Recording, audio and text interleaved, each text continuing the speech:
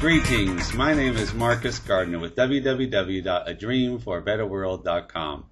This is the sixth video in the series called Working with Basic Fractions. In case you missed the first five videos, you can get them free at www.adreamforabetterworld.com. You may also get my free workbook from there as well. If you do not have the workbook, please stop this video and get it free from www.adreamforabetterworld.com. This video does have prerequisites. You must know how to add, subtract, multiply, and divide numbers. You will need to know the vocabulary in the workbook.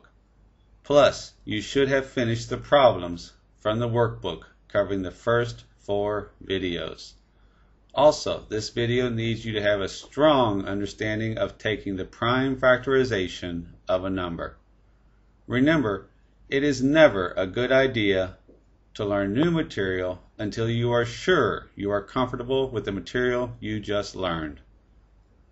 So please finish those problems before continuing. If you have finished the prerequisites, then you are ready for this video. The workbook will help you a lot after you watch this video. So let's begin.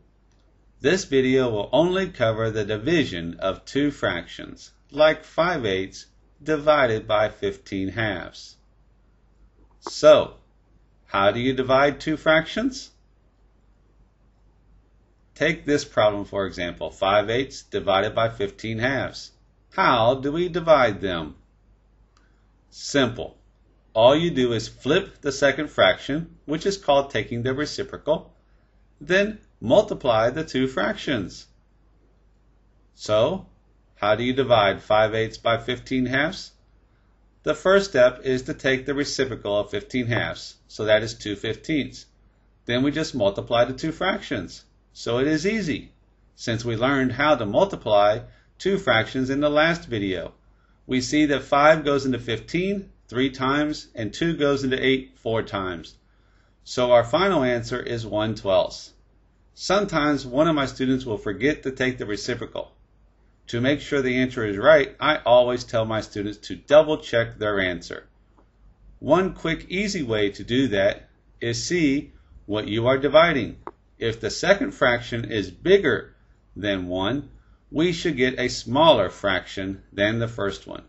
If it is smaller than 1, then the answer will be larger than the first fraction.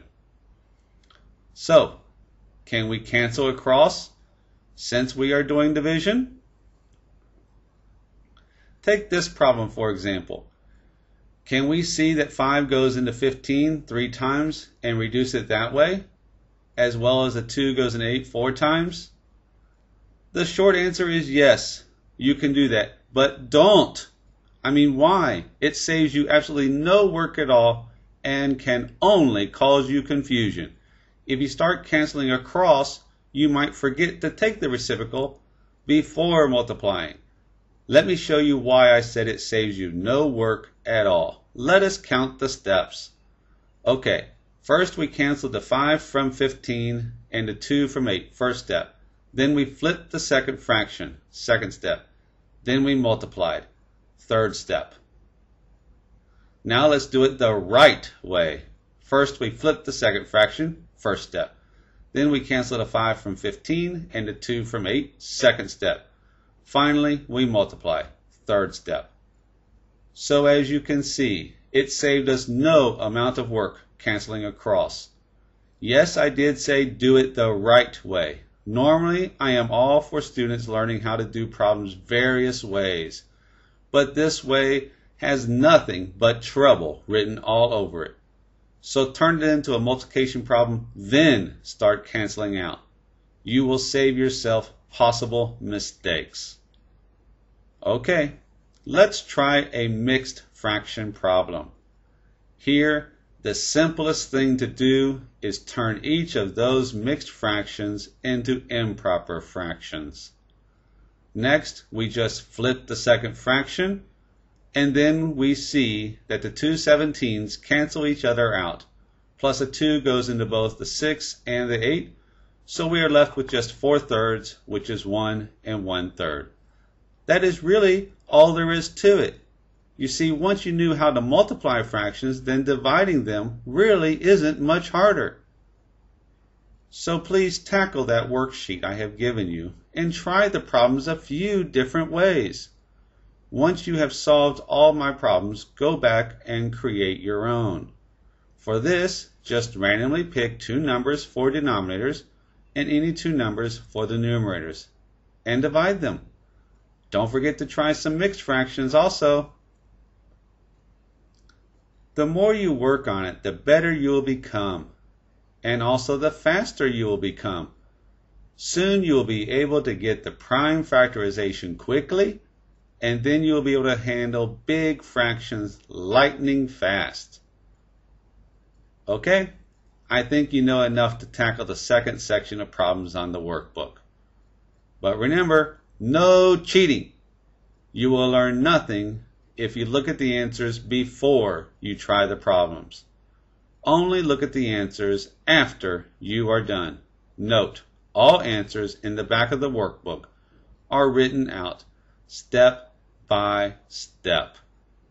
Once you have finished those problems, then you are ready to try the seventh video, and it's the final video in the series called Putting It All Together, where you learn how to add, subtract, multiply, and divide fractions all at one time, like this problem.